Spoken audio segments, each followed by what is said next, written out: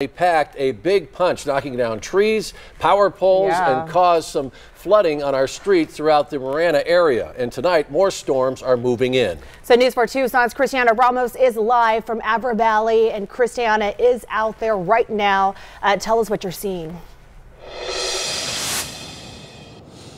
Yeah, well, rain started as early as noon today, but as you can see, the sun is out, it's shining. So we're just waiting on those storms to sneak up on us that like they like to do.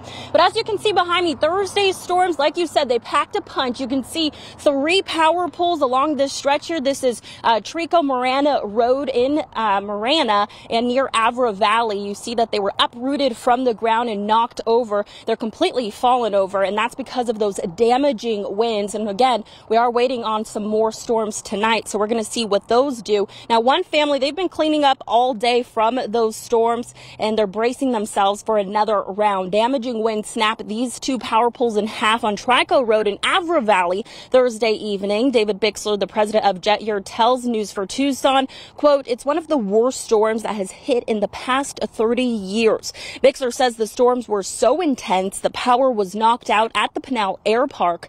Many of their planes shown in this video video took a beating.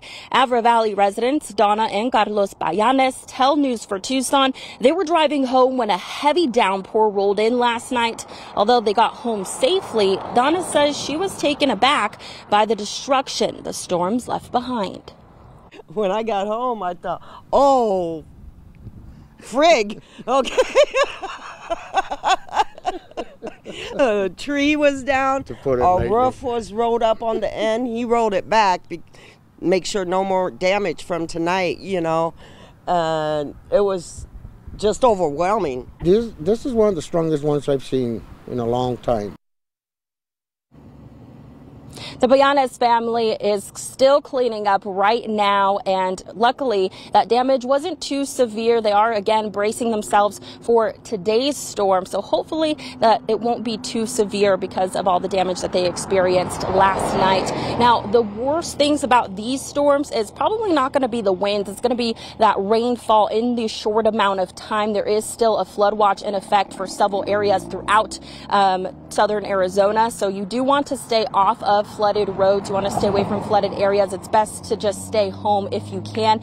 And again, if you do want to stay uh, storm alert and you want any of the latest uh, weather updates, you can download our free Forewarn weather app. Uh, you can do that by downloading that app, and we'll give you the latest on those storms that we are tracking. Reporting from Avra Valley, Christiana Ramos, News 4 Tucson.